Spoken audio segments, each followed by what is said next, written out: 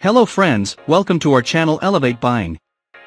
It's presented by the new Rich Bit H100 folding moped electric scooter.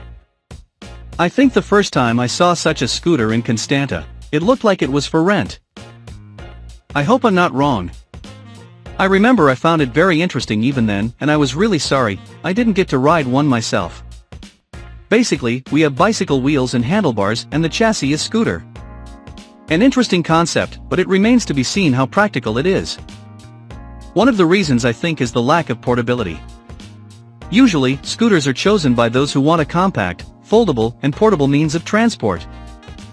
In contrast, the Richbit H100 is not exactly the most compact or portable electric scooter.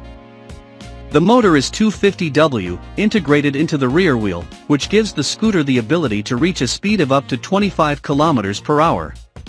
It's not an electric scooter for those who don't have enough storage space. In terms of safety, the scooter has front-slash-rear disc brakes as well as electric horn and LED headlight. Surely more people would have found themselves keen on such a scooter if the range was a little better.